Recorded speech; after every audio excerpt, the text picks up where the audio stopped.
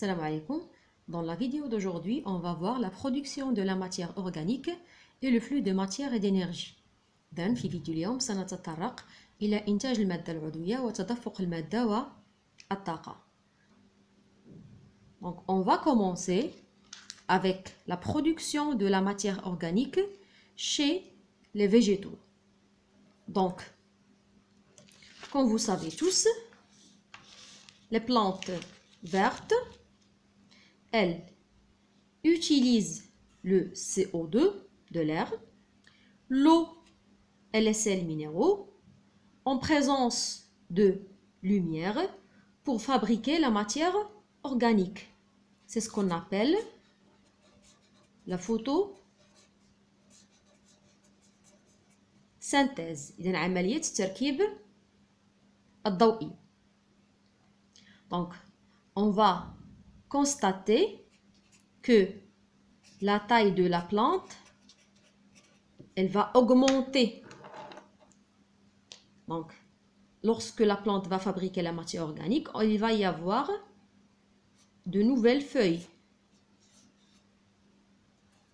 de nouvelles tiges, euh, pardon, il va y avoir de nouvelles racines.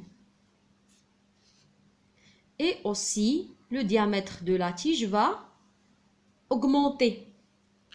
Donc, il va y avoir une augmentation du nombre de feuilles.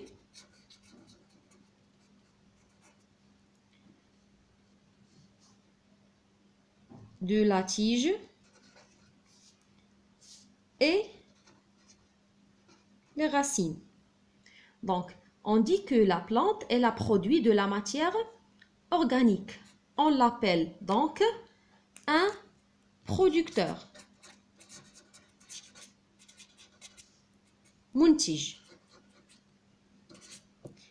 Comme vous savez tous, les plantes sont des autotrophes.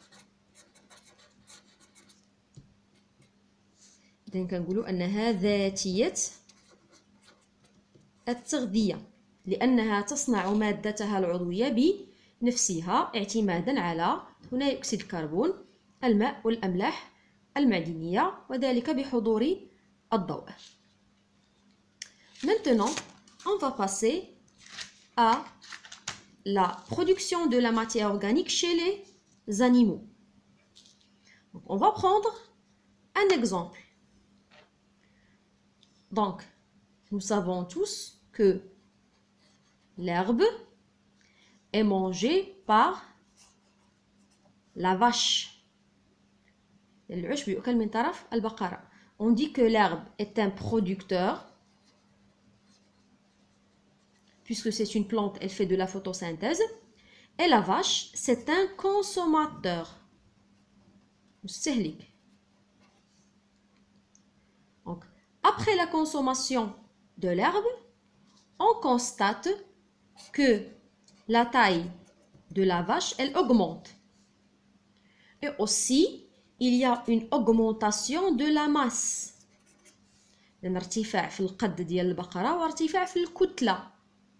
Donc pourquoi il y a une augmentation de la taille et de la masse? Ça veut dire que la vache a produit sa propre matière organique à partir de la matière qu'elle a consommée. إذن البقرة استهلكت العشب دونك العشب منتج والبقرة مستهلك نلاحظ أن قد البقرة سوف يرتفع إضافة إلى كتلتها دونك ça veut dire quoi? شنو كيعني أن القد ارتفع والكتلة ارتفعت؟ أن البقرة أنتجت مادتها العضوية الحيوانية وذلك انطلاقا من استهلاكها للمادة العضوية النباتية. On peut dire donc que la vache est un producteur. إذا البقرة منتج. Donc on peut remplacer ici consommateur par producteur. إذا العشب منتج.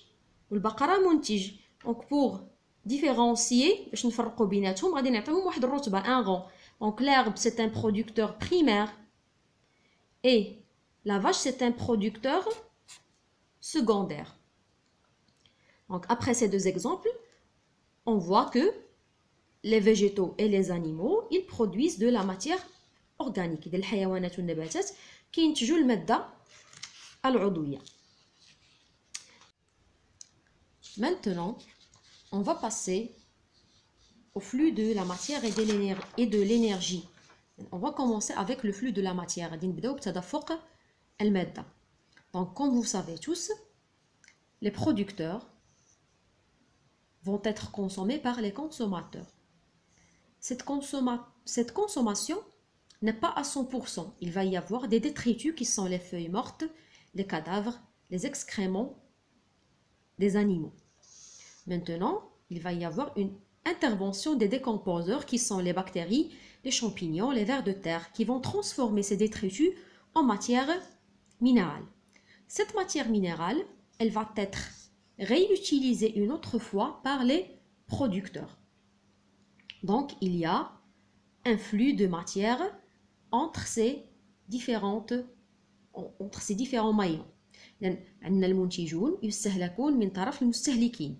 إذن هي ليست عملية كاملة أو تتم مئة في المئة سوف ينتج عنها بعض البقايا أو الفضلات. مثلا أوراق الأشجار الميتة لكادافغ الجثث آه، فضلات الحيوانات.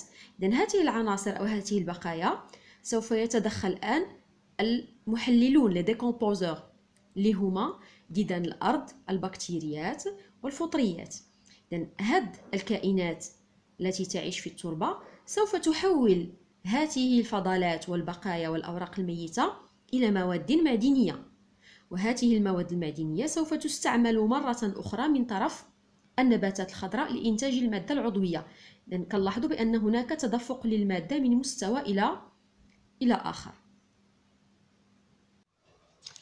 Maintenant, on va passer au flux de l'énergie donc les producteurs utilisent l'énergie solaire pour fabriquer de la matière organique donc cette matière organique va être consommée par les consommateurs primaires. Donc on dit que les producteurs utilisent l'énergie solaire et la transforment en énergie chimique qui est la matière organique. Ce transfert d'énergie va être accompagné d'une perte d'énergie sous forme de chaleur et de déchets. Même chose, donc la matière organique qui est sous forme d'énergie chimique va être consommée par les consommateurs secondaires. Donc cette consommation va être aussi accompagnée par une perte d'énergie sous forme de chaleur et de déchets. إذن المنتجون أو النباتات الخضراء سوف يستعملون الطاقة الشمسية لإنتاج المادة العضوية والمادة العضوية تعتبر طاقة كيميائية سيت اون انرجي شيميك إذن هاد المادة العضوية سوف تستهلك من طرف المستهلك الأول إذن عملية الاستهلاك سوف يصاحبها فقدان للطاقة على شكل حرارة وعلى شكل فضلات.